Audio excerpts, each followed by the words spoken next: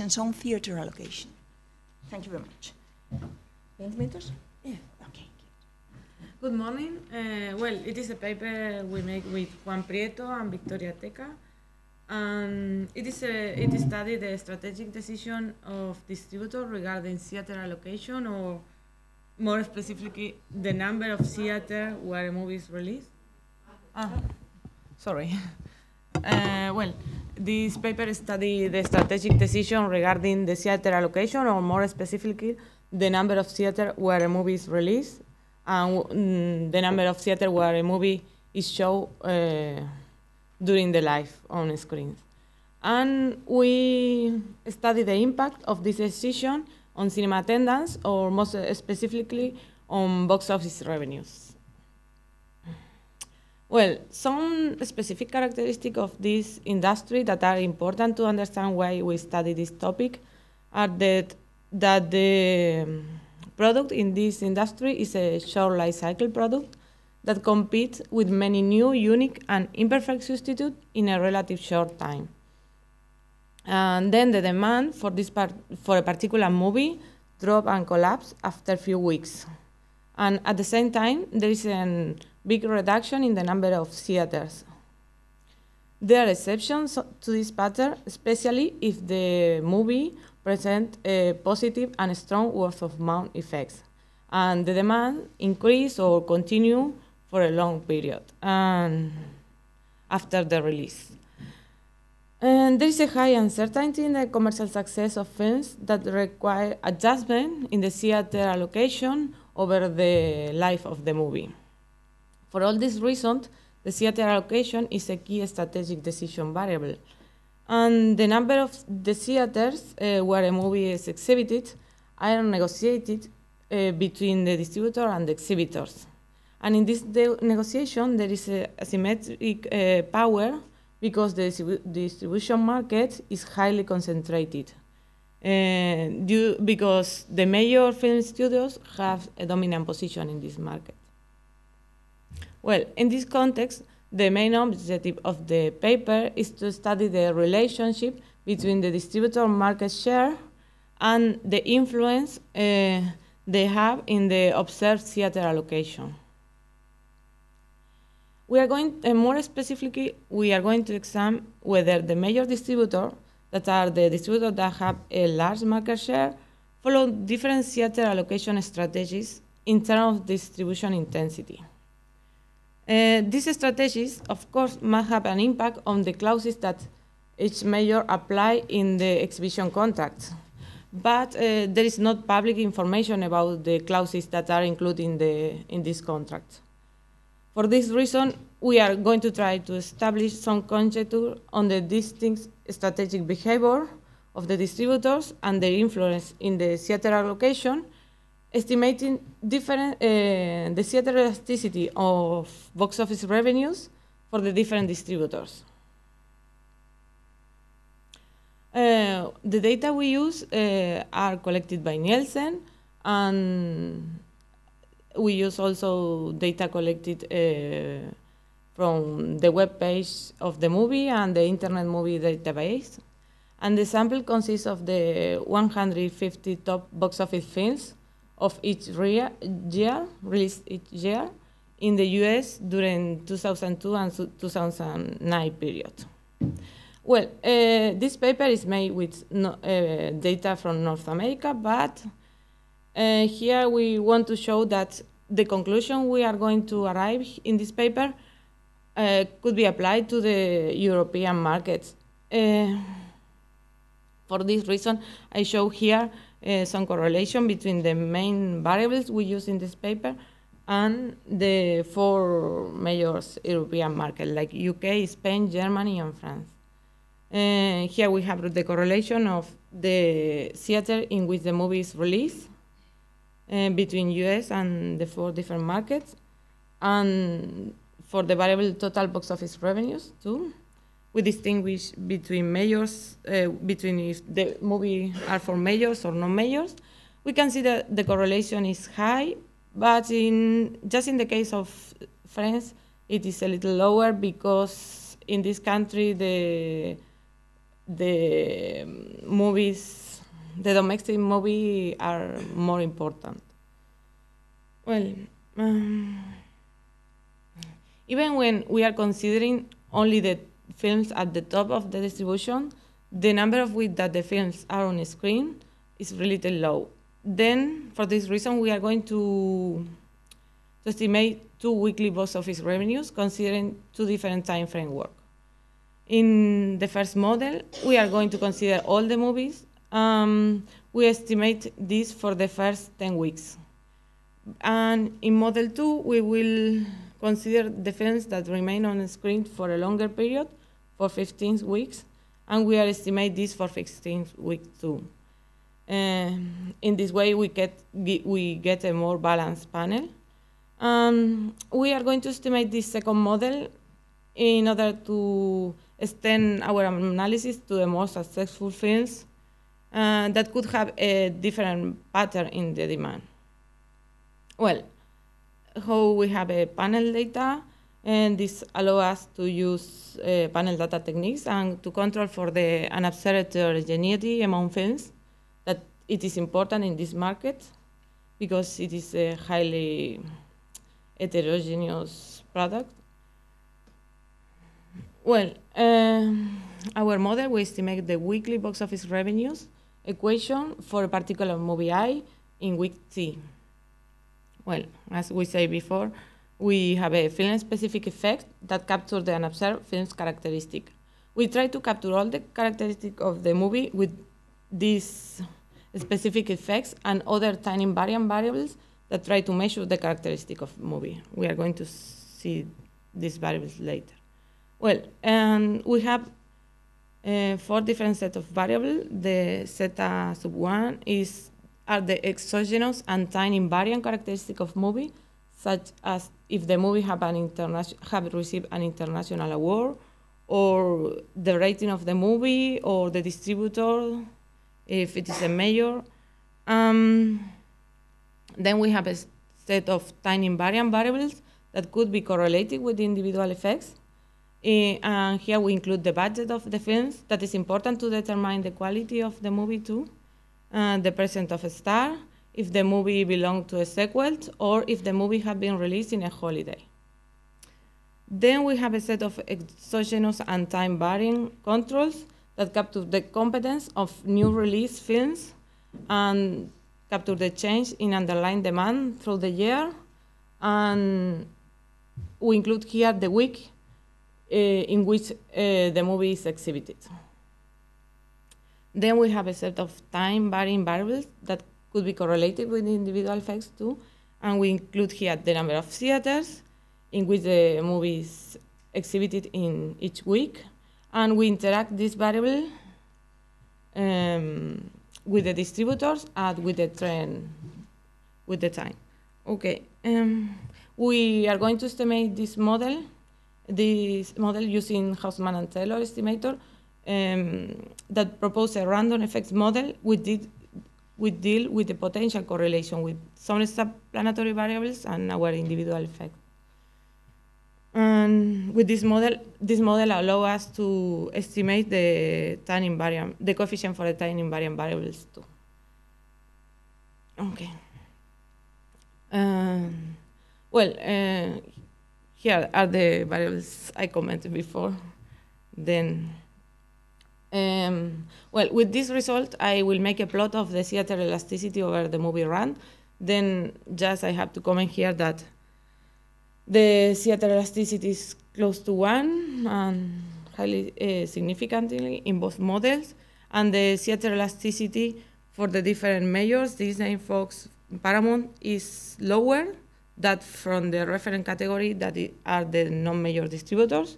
And well, um, regarding the other, other variables that measure the quality of the movie and different effects, we can see that, uh, for example, having a award or uh, having a star in the movie or being released on holiday, all these effects are important in the model where we have a short time framework. When we estimate the model with a long time framework, the effect of these variables seems to dilute and it maybe it is because the word of mouth effect is more important to determine the success of the film.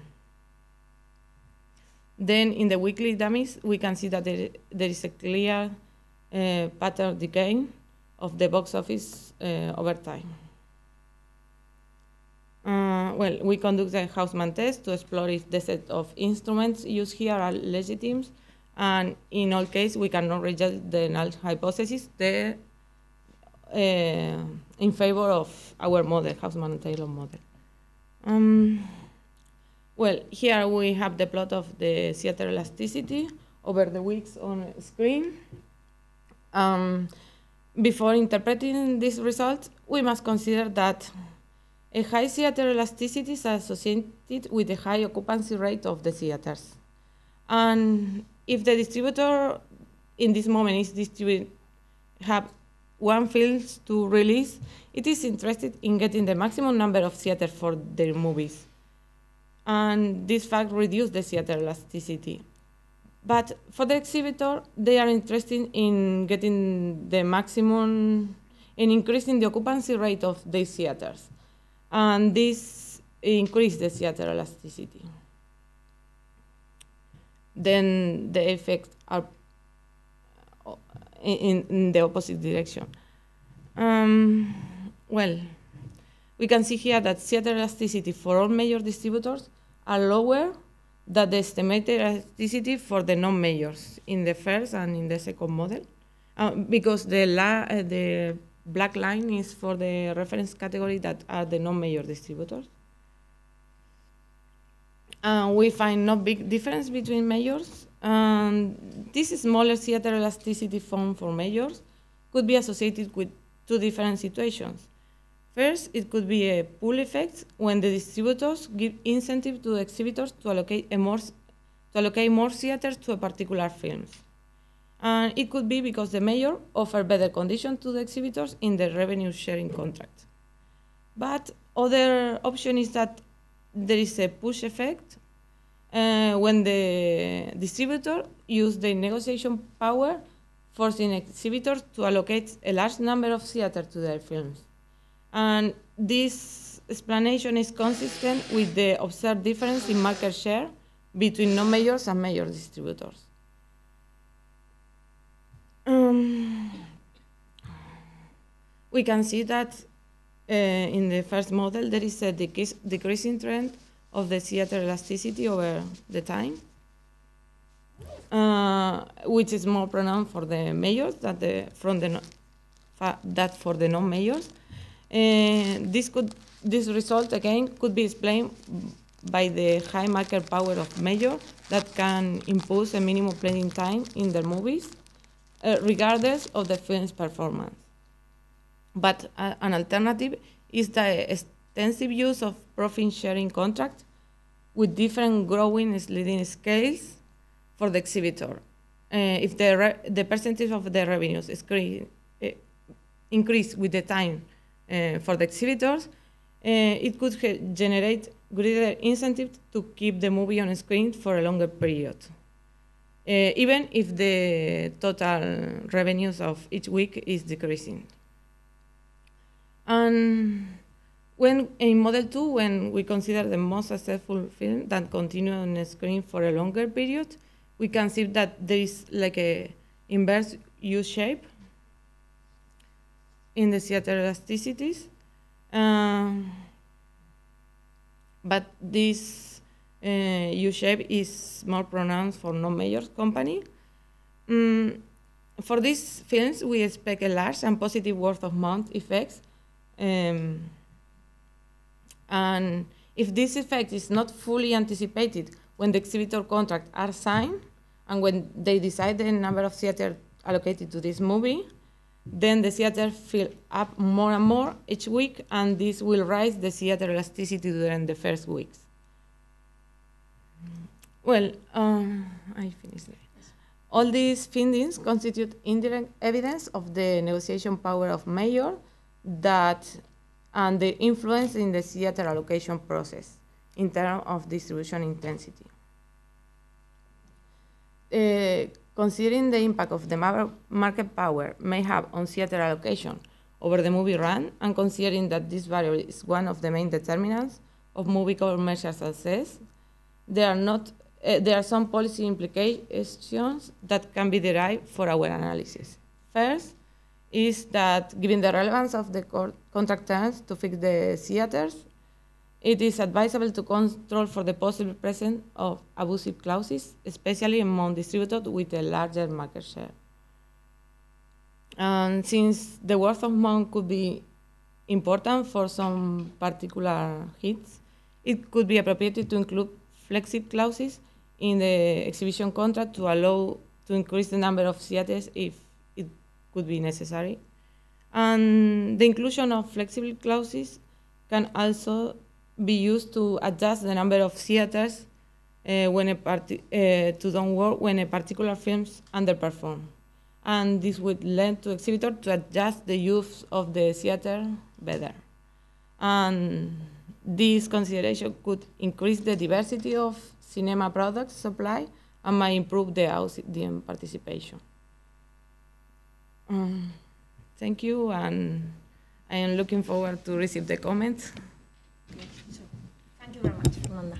So, Victor, yeah. you will get the microphone. Please only talk on the microphone. I have a, a small problem with the, you use you're using uh, a word as an as a right hand side right hand side variable, so exogenous variable. I don't know exactly when you start counting uh, box office. You seem to be starting at week one after the movie has been has been released. Now, usually the awards are given quite some weeks or even some months after, a couple of months after the movie has been uh, released, and that has two consequences. You cannot have the awards variably before the awards were distributed. And secondly, uh, it may be the case that uh, the awards is partly endogenous. If, if the movie is very successful, then these, these guys, the Oscars and the Golden Globes, are more likely to give uh, to give an award to the movie who, which made a, a, lot of box office. So I would like to know how you react on this on this issue.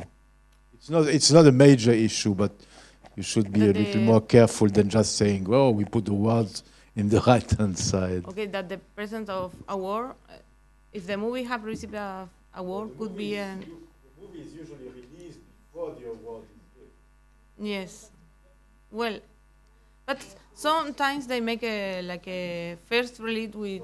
For Oscars, it's clear. For Oscars, it's clear because the movie has to be released before the Oscar is given, and it even has to be played in one of the theaters somewhere in in in uh, in California. So it has to be released before the Oscar is given. Sometimes they make a, like a pre-release with a small number of theaters.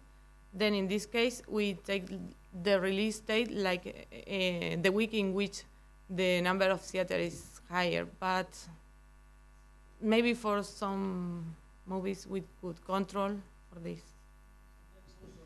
But very little commercial uh, intention. has to be eligible for, the, for the Oscars. That's for the Oscars. So, but we, we use the, the awards you're right, no?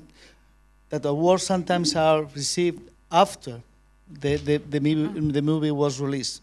And maybe it's the excuse to, to have a, a new youth of the, of the movie. But we use this uh, variable just to control. We are, we are not really interested in the, in the impact of awards on the, on the revenues. But it could be related with some of the uh, characteristics of the movies that affect the other uh, coefficients in our estimation. So we we were not pretending we are not pretending that the the coefficient that we have uh, gotten for, for, for the award is uh, exactly the, the impact that our, an award has on on the on revenues. No, but it could be related with other things that could be important for the for the revenue for the commercial run of the of the movie. We were more interested in know how majors and non-majors allocate theaters and the impact that it, you know, this decision may have on, on revenues.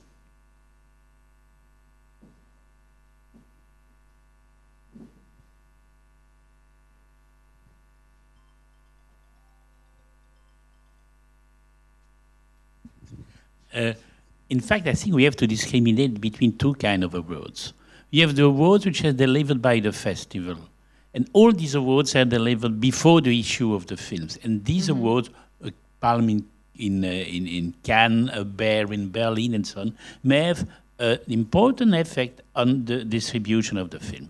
Then we have what I would say exposed awards, which are the awards of the Oscar and the César, which are delivered after one year of uh, uh, of, uh, of issue of films. Are the best film of the previous year, and then is a kind of uh, award you are receiving, but where the only impact they can have is to give a second life to a film which was already a success, and then the impact is rather small.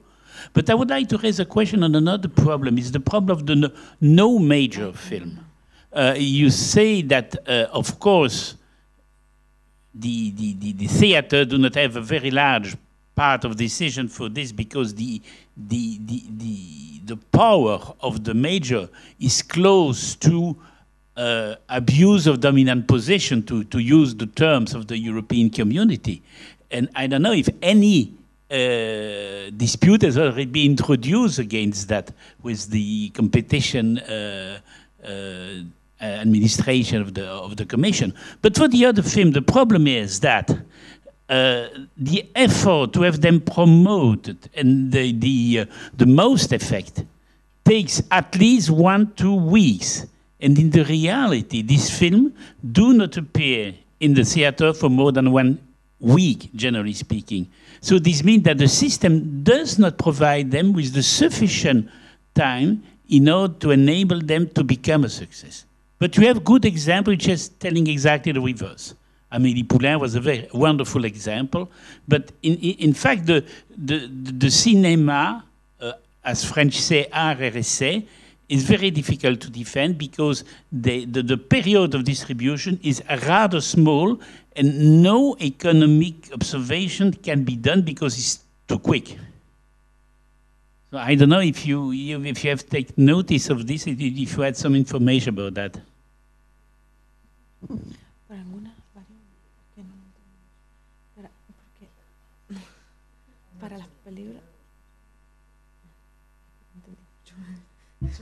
Could you just, instead of the whole comment, make a direct question so she can answer? Okay, my direct question is It, it what- nice. Yeah. but- yeah. What is the situation for the non-major films as far as distribution? Uh, do you think they have the opportunity to be distributed a sufficient long time? No, so probably an answer is that we are having a very special sample, right? Yes. So these are really blockbusters. These are really successful films for Model 1 and even more successful films for Model 2, right? The so top this is our top 100 50 for that period. So, yeah.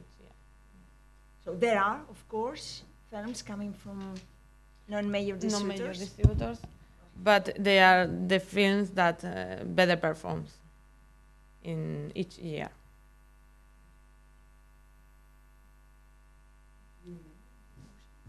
The proportion, uh, twenty percent, uh, maybe twenty percent, or yes, or a little less. Okay, I like very much uh, the the paper and the results. Uh, I, I was wondering, however, uh, about one point. Uh, you um, consider the uh, the market power of the majors uh, more or less as an assumption in here is given by the fact that you choose the blockbusters. And of course, Mhm. already choosing the blockbusters, you give market power to the major. Uh, if you consider all the movies, they may not have that market power first. Second, uh, sometimes cinemas have also some market power. Consider, for instance, new arenas, uh, larger screens, uh, better equipments, and other things. So they have market power. Of course, when you consider blockbusters, this market power disappears because everyone wants, wants to get uh, the, the big the big movie. But in a, with a broader set, probably this result should be considered with some caution. I think. Um, I think we we have included some figures in the paper regarding the market share of the majors, but in this figure, uh, we get this data from internet, considering all the movies, not only the sample. Um, and in this case, maybe the market share was something like 20% or a little less for each major and uh, I don't know if I am answering.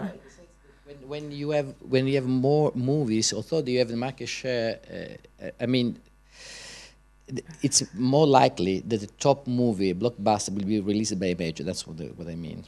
So if you consider uh, blockbuster, especially, it's already uh, no, there the market power of the major it, is less likely than uh, uh, that. That of course, then uh, a big movie will be released by non-major, but they may have you know a smaller amount of movies, but good movies that make that steady. But if you consider only movies that have some length in in in uh, being shown, you already select all the major movie. The market power becomes bigger. Like when you say the sample consists of 150 top box office. Mm -hmm already the each non year. Yeah.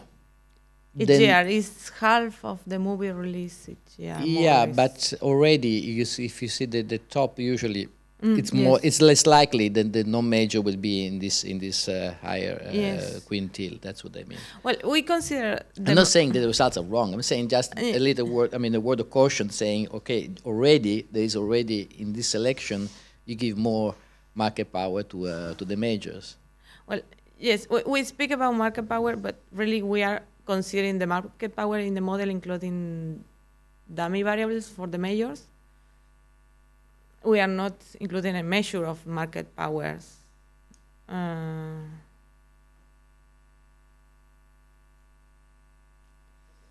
we have not measured the market power with this sample. No, no, Any other question or comment? Good. So thank you very much. So now we can have time for a coffee break. It will be a long coffee break. So please come here. Uh, finally, after the session yesterday, right? So uh, please come back here at a quarter past 11, right? So thank you very much.